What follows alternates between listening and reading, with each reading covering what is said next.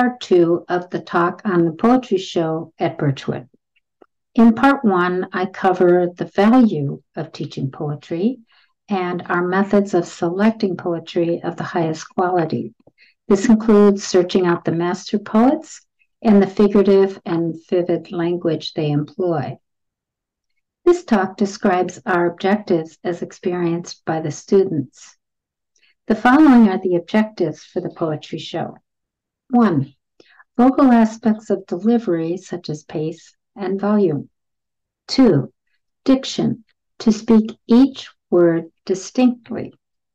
The figurative language and meaning the poet intended are all lost with muffled phrases or sentences that die out at the end. Use vowels and consonants that are carefully selected by the poet to convey the meaning. Three, dramatic expression. Understand what the poem needs and make it happen. Some poems need actions, some need stillness, and some need particular antics to convey humor. All require a certain facial expression. Four, draw meaning.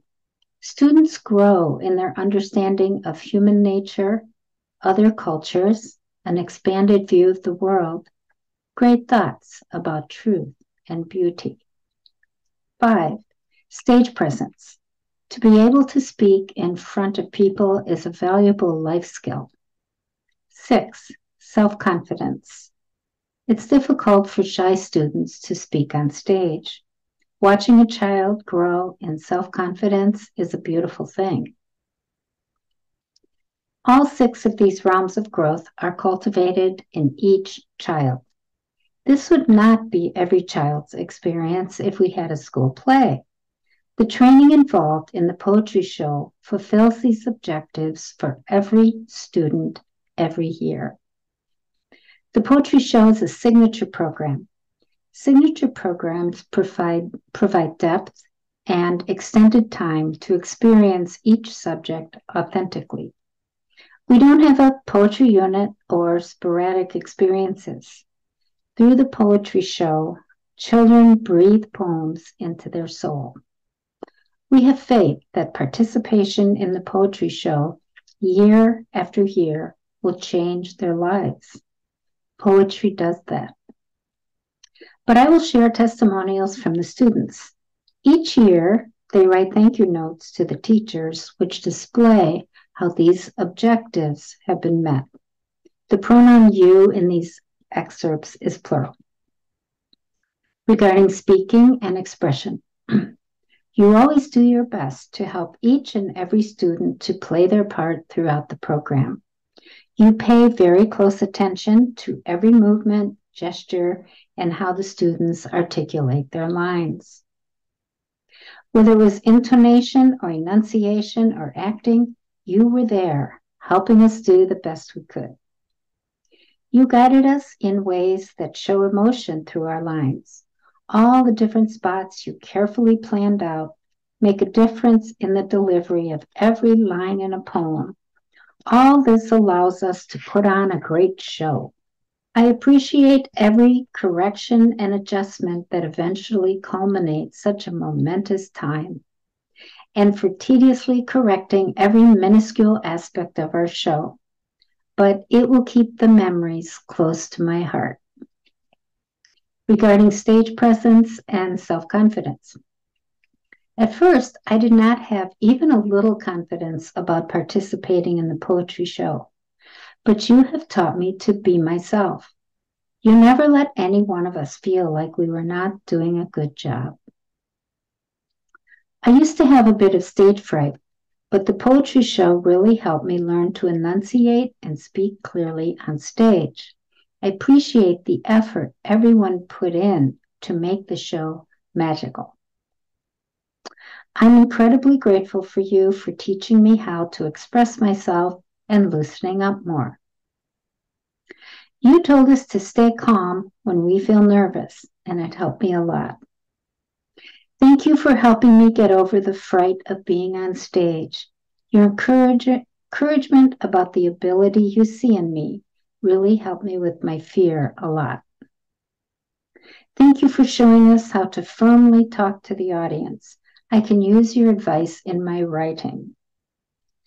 The poetry show has helped me speak louder, which I have had a problem with for a long time.